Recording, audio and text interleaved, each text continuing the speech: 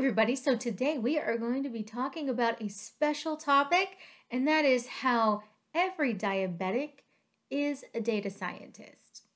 And here's why. So let's start out with what is a diabetic. So specifically, I am talking about a type 1 diabetic in this video, although I can actually see how type 2 is also in this category.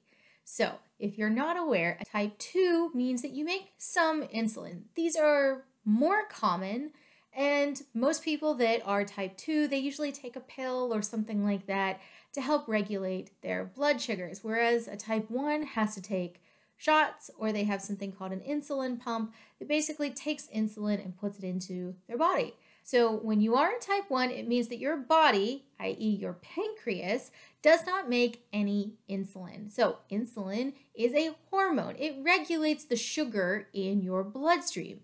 Everything you eat, whether it is a giant piece of cake or if it is an apple, both have sugar in them. Doesn't matter if it's natural or not natural.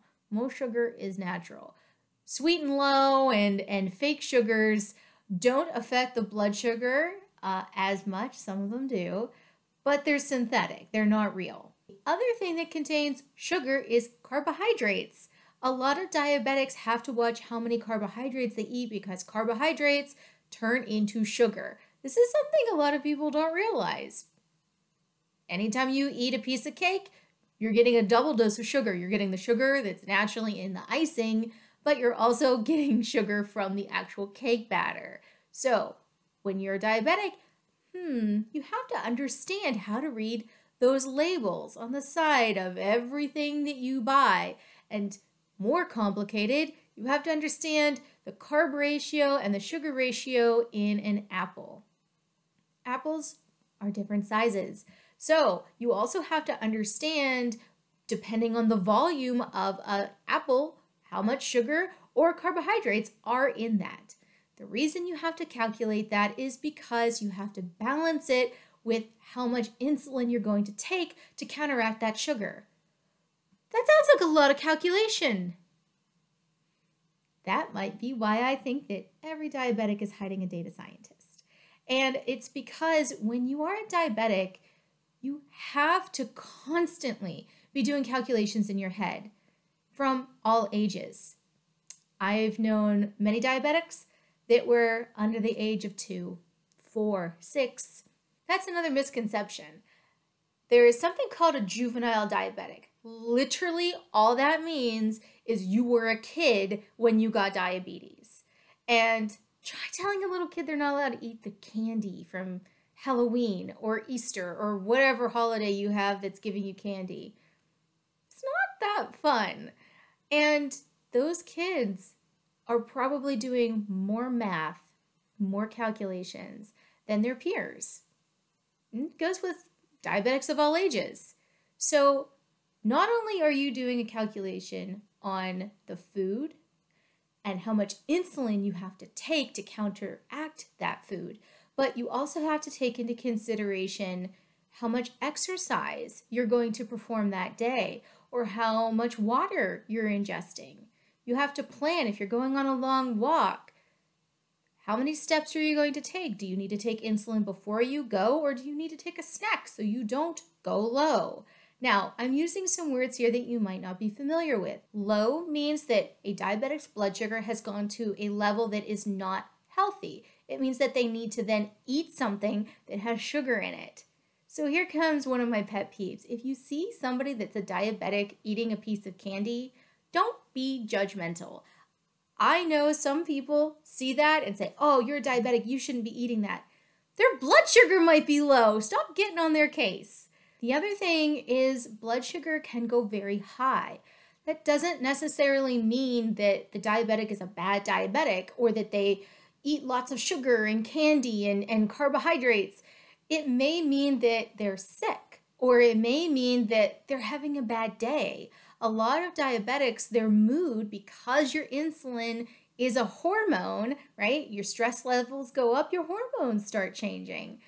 Same thing with a diabetic, except they don't have anything helping to regulate. So if a diabetic may get really upset, their blood sugar could go way up or way down. So these are some things just to keep in mind when you're talking to a diabetic. Here are some of the things that I want to lay straight. So diabetics do not necessarily look sick. I have had people say, oh, that diabetic, that girl's a diabetic. She doesn't look sick. Okay, does that, why does that matter? um, there's other things where there is a preconceived notion that because diabetics have these fluctuations in their blood sugar, that they can make any excuse to get out of work or to get out of doing something. They just have a free excuse to go get a snack. None of those are true. I also know a lot of parents and family members of diabetics that are so scared about allowing their students or even their adult children to go out into the world when they're diabetics because you have to constantly plan. You have to make sure that you understand all of the different environmental factors, all of your eating factors, and your insulin factors before you step one foot out of your door. This can make some people very scared to do so. Look, this is why I'm saying every diabetic is a data scientist. You got this. You know what your body needs and you know how to take care of it. Don't ever let anyone tell you you can't do it. Don't let that stop you. You understand math and calculations better than a lot of other people. Even the brightest data scientist doesn't have to understand or worry about the same calculations that you have to worry about. And that's because your life is dependent on you getting those calculations right. All right, so let's think about what makes a data scientist. Data scientist is somebody that is really detail oriented, somebody that is constantly looking at data and trying to understand how to make it better, how to find additional meaning in it. I know there are a lot of other things that data scientists need to know, but let's just keep it simple for this.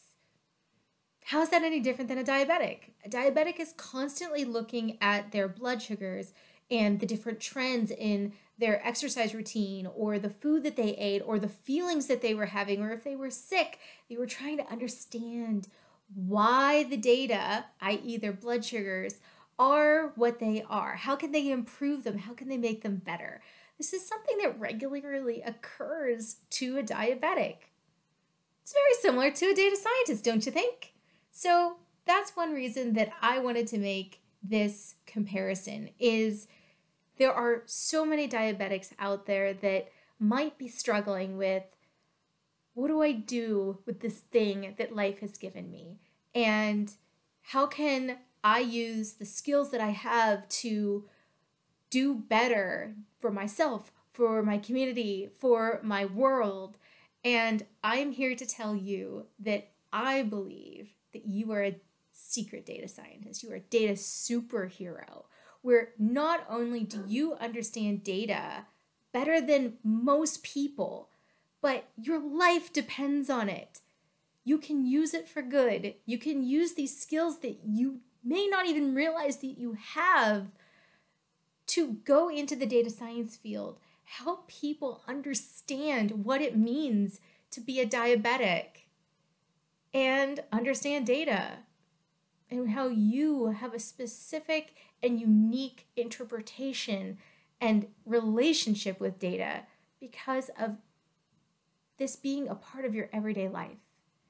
And something that I am very scared to say, but I think it's important to say.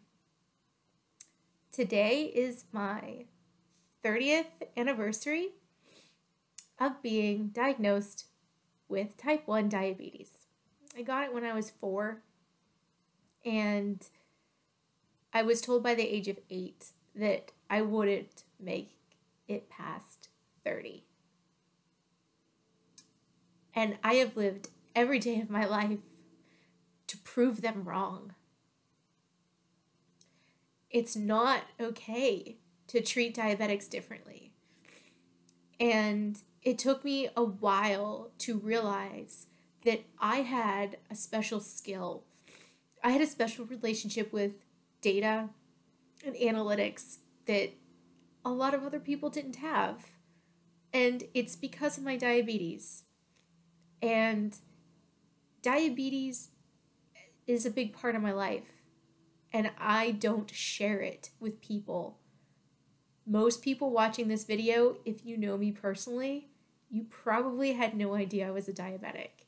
And I hide it. I go to great pains to hide it. And it's because of how I've been treated in the past. When people found out,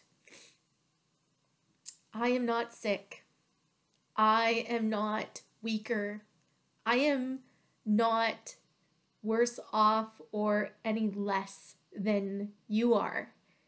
And if you are somebody that has a diabetic in your life or you are a diabetic, I really hope you share this video with them because it's taken a long time for me to realize that I need to share my story. And I need to empower people that may be struggling to know that they're good enough, they're better, they can do things that a lot of other people can't.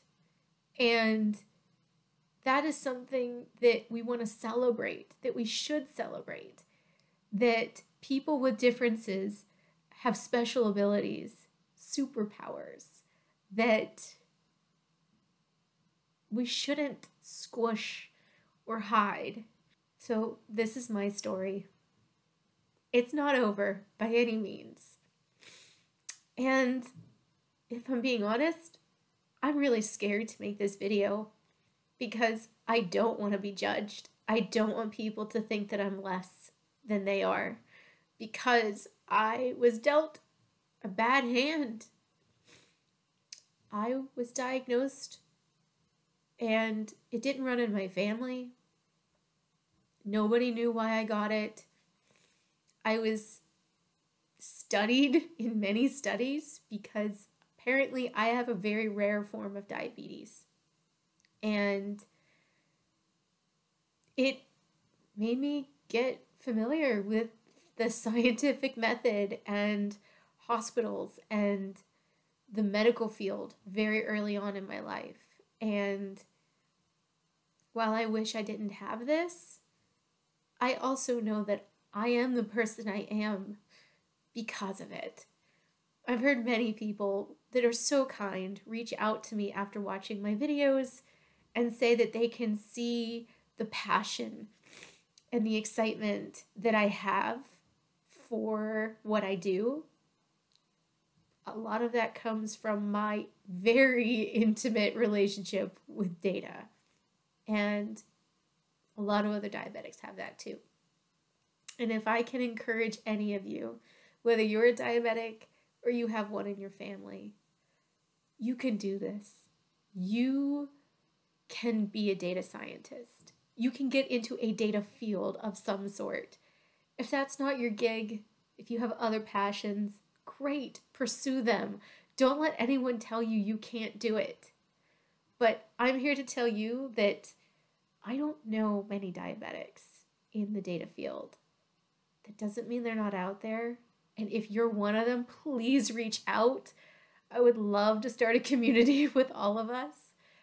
But I also suspect that a lot of diabetics, especially growing up during the time that I did, didn't have a lot of resources, didn't have a lot of support structures.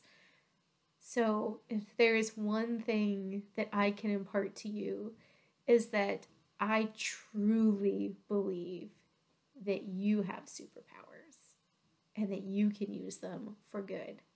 And I really hope that this video